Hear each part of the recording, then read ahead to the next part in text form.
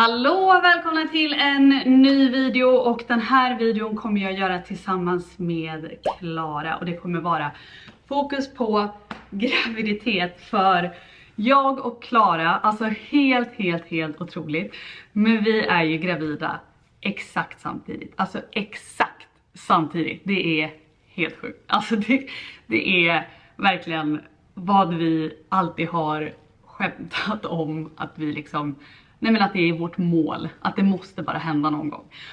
Alltså det var inte skämt, det var på riktigt. Eh, och nu händer det och vi är så glada. Så vi har så mycket att prata om, jag väntar in henne nu, hon är strax här. Vi ska beställa lite mat, vi ska snacka om hur allting gick till när vi fick reda på varandras graviditeter, vilket var typ exakt samtidigt. Eh, och vi ska svara på era frågor som ni har skickat in. Och ja, men jag tror att det kommer bli jättekul för hon är gravid med sitt första barn och jag är gravid med mitt tredje barn. Så det är olika graviditeter eh, men ändå något, ja men vi går igenom samma sak ihop. Så jag tror det kommer bli jättekul. Men nu tänker jag så här, medan vi väntar in henne så vill jag bara tipsa er om lite otroliga produkter för håret från The Every såklart. Eh, jag tvättade håret igår, självklart med vårt shampoo, balsam och med våran volume infusion i schampot och lite i balsamet också. Och det gör verkligen att håret känns så mycket tjockare, mer textur, lättare att styla och ja men det får mer volym helt enkelt. Och jag har ju väldigt, väldigt fint, tunt skandinaviskt eh, hår. Alltså tunna, fina hårstrån. Väldigt lena hårstrån. Eh, men Volume Infusion gör verkligen att det känns mycket mer liksom levande. Eh, och jag har även stylat det som ni ser. Jag använder, vi har ju stylingprodukter också så vi har ju hårvård och även styling. Eh, jag använder alltid våran Nourishing Heat Protection i håret innan jag använder värmeverktyg för att skydda håret från eh, värme så att det inte skadas, det motverkar frist, det ger glans och håret känns så himla mjukt och fint efter att man har använt det här. Eh, den här brukar jag även använda de dagarna när jag inte stylar håret som liksom en liten, eh, en liten fuktkräm typ i håret. Älskar, älskar, älskar. Och sen, alltså den här, jag har ju tipsat om den här förut här på Youtube. Men alltså våran Volumizing Dry Shampoo, jag använder den för blond hair. Vi har ju en för dark hair och en för blond hair. Och sen så har vi även en Invisible eh, Dry Shampoo som bara är, jag menar torrschampo som inte ger volym. Men alltså den här volymen man får den är magisk. Alltså ni måste testa den här. Och det känns verkligen inte som att man har massa produkt i håret som volymprodukter, volymtorrschampon kan göra. Utan det känns fortfarande väldigt rent. Det är lätt att borsta igenom men man får en sån här härlig volym. Och sen så har vi även en texture spray som jag inte har pratat om och det här använder man då som en finishing spray, alltså när man har stylat håret efter att man har stylat det. För att få mer textur i håret, eh, toppen för oss som med sånt här fint skandinaviskt hår. Och det ger också mer volym, mer stadga och man får den här liksom straight out of bed look. Så de här tre produkterna är verkligen toppen stylingprodukter så har ni inte testat dem så tycker jag att ni ska göra det. Okej, nu är Klara snart här så nu ska jag beställa mat och sen så sätter vi oss ner och snackar. Det var väl på Snälla. fucking tiden att du kom! Vad fan det har du varit? Det här är inte mitt fel. Det är ditt. Det är mitt fel. Men flytta på dig. Nej! Nej! Vad fan! Du kärringjävel är vad jag känner om dig just nu. Två gravida bittra kärringar är vad jag känner just nu. Åh oh, herregud. Hej. Åh oh, herregud. Du hur illa var det att jag måste fråga dig vilken gatunummer du bodde på? Ja du det var jävligt illa. Så förstår ni hur länge sedan det, hon var här nu. Hon är en kille nu. Åh oh, Gud fy fan. Ja och så hittar man ju henne i snackskåpet. Ja, men jag blir besviken. Vem har ett en paradisask? Men det är från julafton. Ja men det är också såhär, vem köper paradis? Det är typ bara mammor som köper det. Kolla vad, vad är det här för jävla? Men bort med den, jag vill titta. Jag vet, så himla Så gullig! Är kär, gravid, lycklig. Förstår du? Ja men allt går väldigt bra nu. Ja, allt går väldigt bra. Allt går toppen. Ja, ja, gud ja. Men vad är det? Men vad är det du ska ta? Ja vad är det du har känner jag snarare. Vi brukar ha samma godissmak men det här Men allt är liksom från julen och sånt där som man fick hem typ. After men gud, men va? Vad är det här då? Ja men de är goda. Ta dem. Mm. Väldigt goda. Så. Vi ska ju äta snart men ja. Ja men maten är inte här. Nej. Nej. Okej, då kör vi. Maten är här. Vi har beställt från eh, Dailys. Alltså det är fan, alltså jag kan säga så här om det är någon ställe ni ska äta sallad på i, du skulle säga något. nej, nej, nej, kör, kör, kör. Om det är något ställe ni ska äta sallad på i Stockholm så är det fan mig på Dailys. Alltså de har så goda sallader och jag älskar att jag säger det och sitter och äter pasta. Mm. Men var pastan bara- är också jävligt god. Pastan är svingod men salladerna där är så matiga och riktiga jävla sallader. Skitgoda verkligen. Mhm. Mm. Jag Älskar. tar ju eh, deras kyckling chèvresallad och Mm. jag chèvre trots att jag är gravid. Jag ber dem grilla den extra mycket så att den upphettats och eh, bakterierna dör. Sen så är inte jag så jätte... Ja. Nej hur tänker du med tonfisk och sånt? Ehm, tonfisk äter jag inte. De inte jag heller, jag gillar i och för sig inte ens tonfisk. Men du vet en sjuk grej, när, jag var på, när vi var på Maldiverna när jag var gravid första gången. Mm. ehm, så de som jobbar där, alltså på restaurangen och sånt, de bara No tuna is really good for baby typ. Och jag bara eh, in Sweden no. we cannot eat it, only if it's in a can. Men eh, nej tonfisk äter jag inte. Jag dricker såklart inte alkohol men jag äter eh, sushi, alltså Det är jag med. ehm, Äter salami om det är upphettat typ i ugnen, varma mackor eller pizza typ. Mm. Ehm, men Alltså just när det kommer till mat och det här med graviditet, jag har inte ens behövt tänka så mycket för jag äter varken korv, Nej. jag äter inte chark liksom, Nej. jag äter inte ost och jag äter inte tonfisk. nej. Och jag dricker inte alkohol då givetvis och jag tar inga droger och jag så röker inte så att jag är ganska safe. Ja. Alltså mitt barn mår jävligt bra. Ditt barn mår skitbra, mitt barn mår inte bra. Men vi kan börja med att säga den här videon senast, nu sitter vi faktiskt här och är båda är gravida. Vi var gravida förra gången vi satt Nej här. men vi var det men det sa vi ju inte. Nej. Vi kanske måste berätta det. För att jag fick faktiskt frågan när folk såg att vi skulle göra en video ihop så var alla så här: Gud visste du senast att du var gravid när du gjorde en video med Kinsa? Vi båda visste ju det. Vi båda visste att vi båda var gravida. Ja. Jag mådde skit den dagen vi filmade. Eh, Och jag har inte mått skit en enda gång under min graviditet. nej. Alltså peppa peppa ta i sten. Det är faktiskt många som har frågat typ så här hur och våra graviditeter hittills har varit. Nej, vänta, vi backar bandet. Ja. Vi tar det från början. Ja jag känner att För vi alla vill veta så här hur hur fick ni reda på att Varandra. varandra var gravida? Ja. Säger man så? Ja. Ja, hur fick ni reda på att ni var gravida? Det här Alltså, var så sjukt. Alltså för mig har det ju alltid varit så här. Ni vet ju om ni som har sett min, jag älskar att jag alltid tar över. Ja men kör! Ja jag kör nu Kinsa. Kör bara! Ja, kör! kör! Eh, ni som har sett min gravidvideo när jag går ut med min graviditet och eh, hela vår resa liksom. Så har jag berättat om att jag och John gjorde en abort innan. Och Kinsa var ju verkligen den första jag ringde även liksom då för att jag kände så här. Kinsa har barn, hon kan relatera, det är hon jag pratat mest av med mina vänner om barn. För att så här, vi har alltid önskat att vara gravida samtidigt och hon vet hur mycket jag har längtat efter att få barn. Liksom. Mm. Så för mig nu när jag väl blev gravid så visste jag att så här, är det någon som kommer bli glad, nästan gladare än vad jag själv blev så är det Kinsa. Mm. Och jag minns så väl när jag ringde dig. Ja, och jag, du du, ringde mig på Facetime. Mm. Och du var hos frissan. Jag bara kan du prata? Var Du- jag? Men- Ja, okej. nej, Ja, nej. Inte. nej för du minns första gången nu. Ja, ja, ja, jag kanske minns den allra första. Okej. Ja. Mm. Alla det är så många gånger Ja, det, alltså, det, det här Nej men du var i alla fall hos Mm. frissan, du satt och färgade håret så jag ringde på facetime. Du bara du om du ska säga något hemligt nu så är du på högtalare. Sa du. Mm. Jag bara "Ah, okej men eh, kan du prata lite snabbt bara? Typ, typ så sa jag. Mm. Och så tror jag att jag visade grabbtestet för dig. Ja, och jag satt och bara Mm. Och jag tror att du kände då så här. Du kände då så här. Säg att ni ska behålla det. För jag tror att så här, du blev ju säkert lite så här. Åh, jag vill så gärna vi ska liksom ha barn samtidigt. Men då visste ju inte du att du var Nej. gravid. Nej, Så ja, då hör det. När du, jag vet inte hur mycket du vill gå in på aborten och så men jag supportade ju dig i att så här, Mm. behåller du så, alltså jag är där Mm. med dig Mm. eller med er. Väljer du att inte behålla så Ja. Eh, Men Ja, det ja. är väl klart att någonstans inom mig så hoppades Så ville jag att du. du skulle behålla det. Ja, ja. Men Det ju tog, ni tog ett beslut att inte behålla det. Och det här så- barnet behåller vi. Ja, ja. obviously.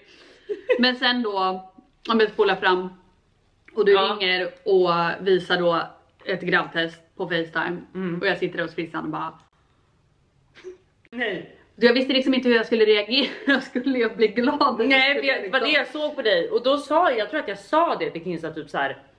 Eh, den här gången kör vi. Mm. Det var något sånt Mm. tror jag. Och du bara har du pratat med John och så här, ja bla bla bla. Lång historia. Mm. Men det var i alla fall så vi found out. Eller Det Kinsa var, så, found out. ja, det var så du berättade för mig. Och då kom jag ihåg att jag sa så här. nu jävlar kör ni. Nej men så här är det. Nej den dagen du ringde då hade det gått typ eh, tre dagar sedan vi gjorde vår eh, Just det. behandling. När du berättar för mig att du är gravid, då har det gått några dagar sedan jag hade ägglossning. Och. Ja. vi hade gjort eh, eh, med, med hjälp av hormoner. Så hade jag haft ägglossning, vi hade haft sex. Eh, så det hade gått några dagar sedan dess. Så när hon ringer mig, när du ringer mig och säger att du har plussat så vet ju jag fortfarande inte om jag har lyckats bli gravid eller inte den här gången. Nej. Ehm, utan det är förrän en vecka efter, prick en vecka efter, som Klara har ringt mig och plussat. Så ringer jag Klara på Facetime Mm. och visar henne ett positivt grabbtest. Men jag vågar inte tro på det. Nej, eh, det vågade inte jag heller tro på. Nej. Um, Eh, så, för vi under den här veckan då, från att du hade plussat tills att jag plussade, Mm. så smsade ju vi väldigt mycket för du var bortrest och jag var bortrest och vi smsade och, och jag var typ såhär fan men jag, jag tror inte att det gick den här gången och du bara men nästa gång så kommer det gå och sen så var jag typ såhär bara fan det kanske har gått ändå för testerna verkar, det verkar ändå se ut som att om jag bara ska dra en lång historia kort så gjorde vi en hormonbehandling och då tar man en spruta som gör att man får falskt positivt eh, utslag på gravtest och det, den ska liksom försvinna sen och sen så blir man gravid så kommer ju strecket tillbaka. Och strecket försvann och sen så började jag se att ja, men nu kommer ju strecket tillbaka vilket innebär att jag är gravid för sprutan är ute i systemet men det börjar ändå komma liksom ett streck igen. Så jag smsade ju dig hela tiden och bara såhär Fan det verkar ändå som att eh, nu är strecket borta och så här, ja men nu verkar det som att det ändå är ett streck igen och du var så här, ja typ. Och jag vågade, jag vågade inte hoppas. För för mig var det nästan så här, gud det här är för bra för att vara sant. Alltså om vi lyckas matcha det här som vi har pratat om jämt. Alltså så här, att det hade varit en dröm liksom. Mm. Men ärligt talat hur ofta lyckas man matcha med sin kompis? Med Och en så här nära. Nej det är så fucking Eller en och en sjukt. halv. Ja en och en halv. Men det är så jävla sjukt Kinsa. Så det är så det gick till. Alltså en vecka efter att Klara Mm. ringde mig så plussade jag. Så ringde jag henne. Mm. Ehm, och då visade det sig sen när vi var liksom på våra första ultraljud. Vi gick ju, båda vi gick ju på så här tidiga ultraljud. Mhm, Jag tog Kinsas barnmorska, jag gjorde allt som Kinsa sa jag ska göra. Men det är bra för jag, jag kan ändå komma Ja, med ja, ja. lite så här tips och så. Men gud ja. Som har gjort det här två gånger Mm. innan. Ehm, ja, men så jag var såhär, jag bara, nu går du in och bokar tidigt ultraljud här, gör det här, Mm. det här, det här. Och då fick vi ju reda på att eh, Klara har ju BF 29 maj. Och 11 dagar senare, den 9 juni, blir det 11 dagar? Ja, Mm. 9 juni har jag BF. Så det skiljer liksom 11 dagar emellan. Nej alltså det här är så jävla sjukt. Kan ni förstå? Eller kan du förstå? Jag kan inte fatta. Alltså tänk om jag typ, vi har ju sagt redan, alltså det här har jag sagt sen start. Jag tror att jag kommer föda 5 eller 6 juni. Mm. Det är vad jag tror. Du tror att du går typ en vecka över tiden. Ja, Mm. vi säger Vilket det. ändå är ganska Rimligt, vanligt, liksom. alltså med första barnet. Vi säger att du skulle föda ja, antingen på BF då, om det blir nionde. Eller vi säger att du skulle föda lite innan. Vi säger att vi bara, vi går bara om varandra. Och vi har, Det är många som har frågat, vem tror ni föder först? jag tror ändå att jag föder först. Ja. Alltså om man tänker om det, jag vet inte hur det funkar men om det är ärftligt på något sätt. Mm. Så här som mamma eller syrran när de har haft det. De har fött på BF eller typ en, två dagar efter. Mm. De har aldrig gått över så mycket i tiden. Och jag har ju gått över båda mina graviditeter. Ja, Första gången med 12 dagar, andra gången med eh, 4 dagar. men då kanske det blir noll den här gången. Kanske, eller så blir det två veckor, alltså man vet ju aldrig. Nej. Men eh, jag tror också att du kommer föda först. Mm. Men jag tror att det kommer vara väldigt, väldigt nära. Alltså gud ja. Alltså, jag vi tror att det ju- kommer vara liksom någon Vi går om dag varandra. eller två. Alltså, när jag går ut från BF, eller BB menar jag. När jag går ut från BF, så när jag går ut från BB. Då tror jag typ att jag möter Kinsa igång och bara ta rum 12B, det var skitbra. Men alltså tänk om, för vi har ju valt samma förlossning också. Nej alltså det här är... Tänk om vi möter varandra Nej, där. Att vi Tänk om liksom föder samtidigt. Tänk om vi rum. åker in samtidigt. Och så här, John är med mig, Alex är med Kinsa och så dagen efter ligger vi där med våra barn. Nej men alltså det hade varit helt sjukt. Alltså, Alltså, vad tror ni? Kommer vi föda samtidigt på samma sjukhus? Alltså det hade ju varit helt. Det kan ju inte hända. Förstår du? Det hade ju varit är helt sjukt. Om man bara går tillbaka ett, två år. Mm. Det här trodde vi aldrig skulle hända. Vi trodde ju aldrig jag skulle hitta någon. Nej. Om vi börjar där. Nej. Jo men lite så Kinsa. Vi var ju lite oroliga för mig. Nej. Nej, alltså det var vi inte. Ja, men, Jag har alltid vetat att du skulle bli mamma. Men sen om du skulle du? bli det på egen hand eller inte, det, det visste jag inte. Nej okej då, men det var ju det vi började snacka om. Du var ju ändå såhär, jag tycker du ska börja frysa in dina ägg och, Mm. och sådana saker liksom. Men nu sitter jag här Mm. och bara så här, alltså livet har verkligen bara tagit en ursväng. Ja. Alltså det är så jävla sjukt. På, Alltså bara på ett år. Mm. Om jag bara ser tillbaka på ett år så hade jag, jag visste inte ens vem John var, min pojkvän. Det är sjukt. Det är det, det, är det mest sinnessjuka. Mm. Och jag kan Det faktiskt är många säga, som undrar ja, vad barnet planerat. Nej men det är också en grej så här, jag berättar om hela den resan i min gravidvlogg så jag tänker så här, den är lite för lång för att dra kort nu. Eh, men Men nej, kort och gott så var det nej, inte planerat. Den var inte planerad. Den, hon, för det är faktiskt en tjej. Hon var inte planerad eh, men hon är väldigt välkommen oavsett. Men jag, alltså jag är så jävla taggad. Men det är verkligen också, jag, jag tror att många tänker så här. Är det inte sjukt att tänka att för ett år sedan kände du inte ens honom och nu är du gravida? Det är jätte, jättesjukt. Och det är klart att hade jag fått önska, hade jag fått önska hela min liksom livlina så eller vad man säger. Så det är klart att jag hade känt att så här, det hade varit sjukt kul att få kanske ett år där bara han och jag, vi fick resa, det typ bara var vi. Men sen å andra sidan, så här, vem har sagt att vi inte kommer hinna det nu ändå? Vi kommer ju liksom, vi kommer ta oss tiden att göra det. Men det är klart att det är en utmaning att få barn. Det är klart det är det. Men sen ska man också komma ihåg att jag är ju 32, antagligen kanske 33 när jag föder mitt första barn. Och jag vill också inte bara ha ett barn om jag får önska. Så kan jag få fler barn så vill jag ju också få det inom nära framtid och då vill jag ju inte bli för gammal heller. Nej. Eller förstår du vad jag menar? Så um, ja, men om ni undrar hela den resan så kolla på den vloggen istället. För där svarar jag mer ingående. Ja. Ja, Klara eh, nämnde ju precis att, ehm, att hon väntar en liten tjej. Mm. Vilket också är helt sjukt. Men Jag jag, visste, det. jag sa ju hela tiden att det var en tjej. Ja men det är typiskt Kinsa. Nej jag Typiskt sa det hela tiden. För jag kan säga så här, från start, jag har varit bombsäker på att vara en Ja, kille. alltså ni kallade ju, vi kallar ni gav ju honom ett pojknamn. Ja. Och kallade honom för det. Ja. Och jag var så här, nej alltså jag tror fan att det är en tjej. Alltså det var liksom, det var självklart för oss. Alltså vi pratade om honom med namnet som vi hade bestämt, allting var liksom bara klart. Och sen när det stod liksom female på pappret, jag bara, det här är inte sant. alltså det var också en grej att världen vändes upp och ner. För jag var såhär, okej du måste hitta ett namn. Och jag var såhär, gud jag har inte ställt in mig på det här. Men eh, vilket, alltså det ska bli jätte, jättekul oavsett kön. Och, såklart. Men ja, känns jättekul. Frågan, vad tror du att det är för kön på min bebis? För jag vet ju inte och vi ska ju inte ta reda på det. Vi Ja. väntar till förlossningen. Vilket Klara är väldigt irriterad Mm. Jag är skitirriterad faktiskt. Jag är skitirriterad faktiskt.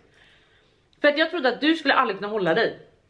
Vet Hämta du, det var lite det att så här, du och några andra liksom i vår vill närhet var lite så här. nej men ni kommer aldrig klara av att vänta. Då blir jag så här, watch me. Så nu väntar vi.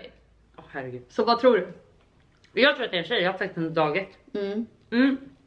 Och jag känner ännu mer nu när jag ska vara en tjej. Det är liksom bara meant to be. Eller är det en kille? Bara för att det är så här. Bara nu för att jag verkar inte ha rätt för att jag var ju så jävla säker på min. Alltså jag var ju säker på. du har fel. Nej men, nej men jag tänker så här, men jag har fått en känsla hela tiden att det är en liten tjej. Mm. Faktiskt. Mm. Och jag som jag har sagt, jag tror ju verkligen att det är en pojke. Men det är också för att hela den här, nu vet jag att det är myt, myt ofta om så här hur man mår och allt det här. Men Mm. om man ska tro lite på sådana saker så har den här graviditeten varit lite annorlunda för dig. Mm. Både hur Men magen jag tror ser inte ut, på sånt. jag tror inte heller på sånt men lyssna nu. Både hur magen ser ut, du har ju mått dåligt längre i den här graviditeten Mm. än vad du gjorde i de andra. Absolut. Om man nu ska tro på sånt. Men jag tror inte på sånt. Och Nej. alla som säger att så här, men det är en tjej för att du har mått så dåligt. Alltså Klara har mått prima. Ja ja. Hon väntar en tjej, hon har mått prima. Prima. Det enda jag kan säga om vi ska, om vi ska gå på de här myterna. Mm. Det här med att tjejer stjäl mammans glow. Det tycker jag inte. Jo! Nej, Jo Kinsa. Jo, det kan jag säga att det har hon. Jag håller inte med. Nej, det glowar mer än någonsin. Nej, hon har tagit det på något sätt och det, jag uppskattar inte alls faktiskt. Men det är den enda myten. tillbaka den eller? Ja verkligen, det är min. Men det är den enda jag känner har funkat för mig. Annars är det så här, folk var ju såhär, jag ser att du har en pojke för du har en pojkmage. Ja bara, men alltså det ja, där tror inte jag. Alltså, Nej. nej. Verkligen inte. Mm. Ja, men den här frågan är ganska intressant. Vad har ni för likheter slash olikheter i inställning till graviditet och barnuppfostran? Mm. Här tycker jag faktiskt att vi är ganska Vi är lika. Ja vi är lika. Jo det tycker jag.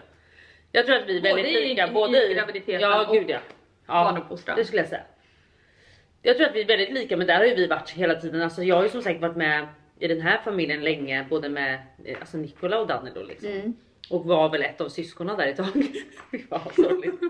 Men ehm, och då pratade vi ofta om såna där grejer. Mm. Alltså så här, och jag tänker att du är nog den jag skulle relatera mest till av mina vänner när det kommer till just det. För jag tror att vi vill ha ungefär samma typ av liv. Mm. Du vill att barnen ska ha samma typ av värderingar, hur man ser på andra människor, hur man Vi har samma sig. typ av värderingar. Exakt. Mm. Så jag tror att vi är ganska lika i den frågan alltså. Mm. Det tror jag också. Och den här frågan då? Mm. Vad kommer du ta efter och absolut inte ta efter från mitt mödraskap? Oj. Finns det någonting som du... Vet du vad jag verkligen ser upp till när det kommer till dig och Alex? Nu är det inte bara mödraskap då, nu är det er två. Mm. Det är att ni har lyckats få eh, barn och familj att se så enkelt ut. Mm. Ni har inte begränsat er så mycket. För det är en grej som jag kan vara rädd för, som jag försöker påminna John om ganska mycket liksom också. Jag säger inte att han inte vill göra det, men jag menar bara att, att man får inte begränsa varandra. Att det är så här, bara för att vi skaffar barn så betyder inte det nu att hej då till att gå ut med sina vänner eller hej då till att resa eller liksom. Mm. Man måste fortfarande kunna ha ett liv både med sina vänner men också som familj. Och det tycker jag ni har varit så Att livet jävla... behöver inte förändras Livet behöver så inte... mycket som många säger att det Nej, alltså Det det är så här... förändras på alla sätt och vis. Men man kan fortfarande liksom hitta sätt att, Att göra det. ja, att göra det Alltså, på. livet tar är inte att allting kräver lite mer Planering. planering. Så Ja. det som kommer försvinna är ju Spontanitet. spontanitet. Ja. Vilket jag tror kommer vara en ganska stor omställning för dig för Ja. du är ju väldigt spontan av dig. Eh, och du är väldigt mycket så här. Eh, go with the flow, du liksom okej det kom, dyker upp någonting roligt, om jag drar iväg på det. Alltså så Mm. kommer du, du inte kunna Nej. göra. Utan du kommer behöva liksom planera mer, planera mer med John. Mm. Eh, men det finns ju liksom inga begränsningar annars på det sättet. Nej. Första tiden absolut. Mm. Eh, men eh, allting är också tillfälligt. Alltså sömnbristen är tillfällig. Ja men det är det jag Alltså, också försöker tänka. Det här, det här, det här, det är tillfälligt. Men sen är det ju också så här, vi vill ju ha barn. Alltså Ja. det här är ju också något som vi har valt Mm. liksom. Så att eh, jag är helt inställd på det. Men jag tycker återigen bara att jag blir lockad på barn när jag är med er. Mm. Men jag blir mindre lockad när jag är med vissa andra. Alltså när jag är med vissa andra då är det ju verkligen så att man känner så här: okej mitt liv, jag har fyra månader kvar att leva innan bebisen kommer. Alltså det är verkligen så. Och det är verkligen kul för att mina barn är absolut inga änglar. Alltså det är de Nej, nej, nej. De kan vara skitjobbiga. Ja, tack. Jo tack, jo tack. Men det är ändå så, nej men det är verkligen något jag kommer ta efter att försöka liksom bara planera väl och försöka att så här, fortfarande ha kvar ett roligt och socialt liv. Mm.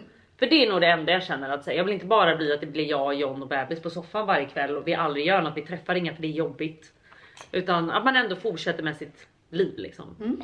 Vad jag inte tar efter, Kidsa bara eh, Gud jag måste tänka här nu, vad fan skulle jag inte ta efter nu? Fan vad är det jag inte skulle ta efter Kissa?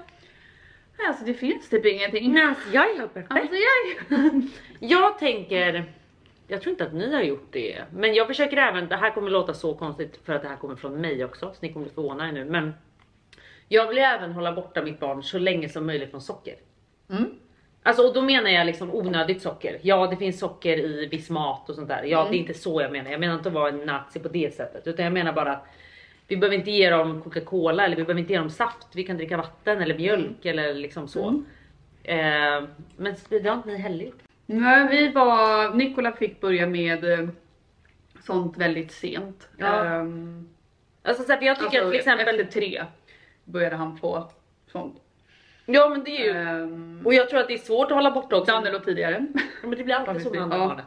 Så att vet ni vad, jag sitter här nu med noll erfarenhet själv av egna barn. Men jag säga varför jag rekommenderar att hålla borta? Nej. Nu när både Nikola och då får liksom typ någonting på fredagar eller lördagar. Eller till exempel nu när vi var i Thailand så blev Mm. det ju en glass varje dag. Ja, Ju mer sånt de får, alltså desto svårare blir det att hålla bort dem från annat. Ja, Mm. att, hålla, att hålla det borta. För att nu är så här, Nikola han ber om glass varje dag. Det får han absolut inte.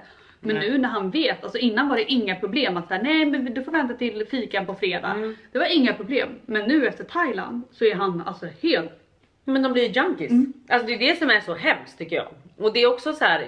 jag kommer, alltså återigen. Jag pratar med noll erfarenhet just nu så det här är verkligen vad jag tänker att jag vill. Jag vill vara den här mamman, det kanske jag inte blir. Men så här, skär upp lite frukt eller liksom göra det lite mysigt på annat sätt. Annars kan jag faktiskt inte komma på något. Jag tycker du har varit fantastisk som mamma eller är fantastisk som mamma. Jag blir jätteglad och jag tror verkligen att du kommer bli en fantastisk Tror mamma. du? Mm. Jag tror, Tror du kommer du? bli en jättebra mamma. Nej, Mm. varför? För att du är en väldigt omtänksam person och ehm, när jag har sett dig genom åren med dina brorsbarn Ja. eh, så alltså du är så bra med dem. Ja. Du gör allt för dem. Ja. Här, du gör allt för dina brorsbarn då fattar man ju att så här, Det du kommer göra allt för egna barn. liksom. Det där är så svårt att förstå för alla är verkligen så här, gud du kommer verkligen känna av vilken kärlek du kommer känna. Och jag är så här, nej men gud jag känner ju den av mina brorsbarn och syskonbarn och allt det här liksom. Alltså jag älskar ju dem som att det vore mina egna barn. Och jag kommer ihåg att det är så många som har sagt bara, ja men vänta då tills dina egna barn kommer. Alltså du kommer vara överväldigad med kärlek. Alltså jag bara känner så här, gud alltså jag kan inte ens tänka mig att känna mer än vad jag Nej. känner. Jag Alltså så kände jag med min hund. Innan jag fick barn. Nej inte man. Då berättade jag bara Alltså Alex jag vet inte hur jag ska kunna älska någon mer än vad jag älskar man. Men sluta. Och sen så kom Nikola. Det var bara man i. Men får jag fråga dig Det här är helt annorlunda såklart. Men- ja. Har du någonstans att du så här har ett favoritbarn? Nej, jag inte. Man kan, alltså jag kan ha favoritbarn i, eh, Perioder? i alltså idag Mm, är mitt favoritbarn Nikola eller Danilo för att den andra har varit skitjobbig Trots eller gjort det. någonting eller Ja. ja, exakt. Men annars Men älskar man dem såklart. olika liksom. Man älskar dem lika mycket. Ja. Alltså lika lika mycket. Men på det är ändå liksom två olika relationer och man älskar dem på olika sätt. Mm. Alltså till en början så älskade jag ju Danilo för att han var liksom litet, ett litet knyte som jag var tvungen att ta hand om. Mm. Medan Nikola hade ju börjat få en personlighet, vi hade en relation tillsammans. Mm. Men nu är ju Danilo där också. Nu har ju vi också en relation och han har en personlighet och sådär. Åh gud. Jag fattar, jag fattar. Men är det någon ålder so far som du tycker är roligare? Ehm, ja men det är klart att eh, Nikolas ålder är roligare. Han Alltså- är tre och ett halvt och det är ju, man kan ju verkligen umgås med honom nu. Men den har också sina downs om man säger så. Alltså jag hör dig men jag, skitjobbigt ibland. ja men fan vad jag längtar efter åldern typ tre. Mm. Alltså från tre, nästan fyra alltså. För när jag börjar få en personlighet, jag var med min systers barn i helgen, Mm. lilla Ester. Alltså det är en sån liten söt tjej så att jag vet inte vart jag ska ta vägen. Mm. Alltså hon kan ju, hon var ju liksom så här, hon kunde komma till mig och bara nu får bebisen också glass i magen för de får det på navelsträngen. Hon är så här förnuftig, hon läser. Mm. Jag tycker det är en fantastisk ålder, alltså verkligen. Men alla åldrar har väl någon typ av charm Ja. och några downs också Mm. då såklart. Jag skulle Eh, säga att den jobbigaste åldern, både med Nikola och Danilo, har varit eh, mellan ett och två. är det så? Så där Danilo är nu. Är det, Fruktansvärt. Mm, ja alltså det, det är jobbigt alltså. Nej. Men det är för att de, de vill så mycket, de börjar få sin egna vilja men de kan liksom inte riktigt prata så mycket än och så här. Alltså det är, Nej, ja, det är bara väldigt väldigt tufft. Jobbigt. Men ja. Är ni rädda för att föda? Första gångs föderska versus tredje gångs. I livet. Du är livrädd. Nej alltså. Vad är du rädd för? Nej men vet du, jag, det är jäkligt blandade känslor alltså. Mm. För att det är klart att jag inte ser fram emot att klämma ut en melon i min fitta liksom. Nej. Alltså jag är inte skittaggad på det. Men samtidigt också känner jag så här, det här är det mest naturliga en kvinnokropp kan göra. Så det känns verkligen som att kroppen löser det av sig själv. Mm. Förstår du? Mm. Den vet vad den ska göra när det väl är dags. Mm. Men jag tror, jag kommer försöka förbereda mig så gott som möjligt att gå på så här profylaxkurs. Att göra lite sådana grejer och sen bara liksom ärligt talat go with the flow. Hur flummigt det än låter. Jag är inte sån men just i en sån situation så tror jag det bara handlar om att så här, slappna av och bara lära sig att andas bra. Mm. Epidural? Ge mig allt ni har. Mm. Alltså, Alltså, jag också. droga ner mig totalt känner jag alltså. Nej alltså jag Nej. känner också det. Jag tog eh, epidural båda gångerna. Eh, första gången så hade jag en väldigt lång eh, krystfas. Mm. Ehm, jag krystade aktivt i två timmar vilket var fruktansvärt. Usch. Och på de två timmarna så hann epiduralen Nej, försvinna. nej du driver. Så jag krystade ju ut honom sen utan epidural och det är en ganska stor skillnad på hur det kändes att krysta ut Nikola versus Danilo. För Danilo tog jag epidural in i det sista när de precis skulle ta hål på vattnet och 10 minuter senare så var han ute. Så då var jag verkligen mycket bättre bedövad och eh, hade lokal bedövning också. Det finns en lokal bedövning Ja, du kan ta som man kan få i fittan va? Mm. Vid, vid hålet då eller? Ja, de är alltså typ... Eh, Är det bäckenbotten, vid väggen eller... Är det alltså- bäckenbottenbedövning? Den heter pudensblockad. Jag vet inte riktigt. Man måste be om det, Eh, eller hur? Ja, du måste be om det. För jag, första gången visste jag inte ens att det fanns. Ge mig allt. Alltså tryck in mig i allt Mm. Ge bara. allt. Ja, alltså det känner jag. Ja. Och, och lustgas in i helvete. Ja. Är det sånt man brukar ha på fester? Lust... Eh, ja, Ja det är det. det är den jag det är tycker samma känsla. Ja, lustgas gillade jag inte alls första gången. Andra gången gillade jag det. Varför? Jag vet inte. Det var första gången, alltså jag mådde, första gången så kräktes jag mycket under förlossningen också för jag mådde illa och liksom allting Mm. så då blev det bara värre med lustgasen. Men andra gången så kunde jag använda lustgasen på ett sätt som eh, gjorde att det kändes nice liksom. Ja, jag fattar. Men jag var så mycket bättre bedövad andra gången. Alltså så här, obviously så var jag också liksom Ja, det var andra barnet, jag hade banat väg för liksom tvåan. Det är det. Ehm, Det är Men- det jag är rädd för. Att nu ska jag bana vägen och jag har helvetet framför mig Kissa. För det kan jag också känna. Vi, vi kände henne igår på magen liksom, jag och min kille. Och då sa jag så här, har du förstått att jag ska trycka ut det här barnet? För att då säger han så här, han bara, kan hon inte bara komma nu? Mm. Då är det så här, ja innan dess. Så som sagt ska jag förstöra mig själv i fittan där nere. För jag ska trycka några gånger. Så det kommer sen gå jättebra. Alltså det är klart att det är, det är skitjobbigt. Alltså det är ju det jobbigaste du kan göra. Men eh, du klarar det. Men ju Alltså, närmare jag börjar det. komma, du vet när jag tänkte igår att bara, det är bara fyra månader kvar. Då börjar jag känna såhär, åh Vänta, jag är bara herrejävlar. fyra, vänta, jag är bara fyra månader kvar. Ja, februari, mars, april, maj.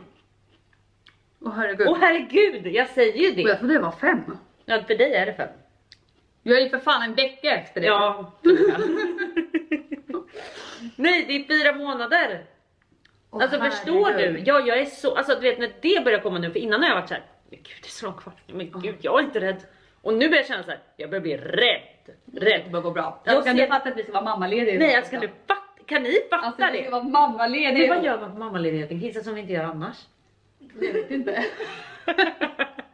Vi kommer promenera, vi kommer dricka kaffe. Vet du, det är så många som har varit såhär, vad ska ni göra på er mammaledighet? Jag är såhär, ja, Alltså det blir, eftersom att vi födde barn på sommaren, jag födde Nikola på sommaren, så som, det blir liksom Ja, lite för ni kommer vara på landet. Vi kommer vara på landet, du kommer vara med jobbet, Öland du kommer vara ledig mycket, du kommer vara med din familj. Så jag tror att vår mammaledighet Börja på hösten. kommer börja på hösten efter Ja. sommaren och då ska vi... Eh, Gud, ska vi, ska vi gå där med våra vagnar? Ja, jag, vi går jag går med min och du går med din. Ja. Du bara, ja, Nej, vi byter. du, får jag fråga dig en grej? Ja. Kan du tänka dig att amma mitt barn? nej. Jag Alltså jag kommer göra om, det- om, om vi säger typ att du... ehm, att det skulle vara problemen då. Nej men det händer någonting Ja. och eh, du lämnar mig med ditt barn. Och, Då kan du väl eh, amma lite? Och barnet är hysteriskt och du, du är inte där och du kommer inte komma nu. Ja. Absolut, då De gör bara, jag det. varför ska hon amma ditt Nej men barn? då gör jag det.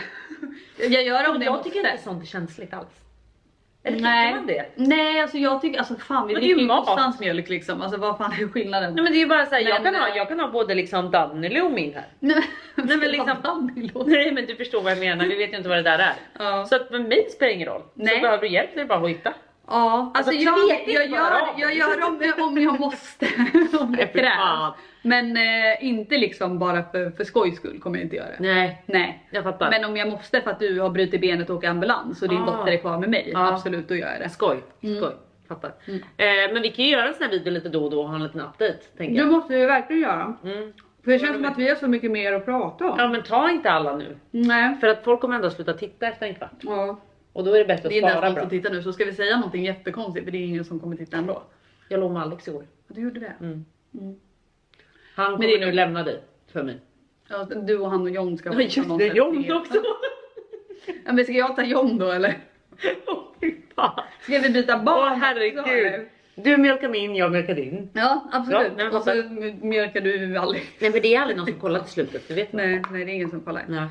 Nu kan du verkligen säga Borg. Ja, så om det är någon som kollar nu, nu ska ni bara, för det är nu skvallret Mm, jag vet. Det är nu vi liksom bara sitter och snackar på som att det inte var en kamera här. Exakt. Jag vill ha efterrätt nu på riktigt. Mm. Okej, så nu ska vi äta efterrätt så vi hoppar över till Klaras kanal. Tvätta. Hej då! Puss och kram! Fy fan.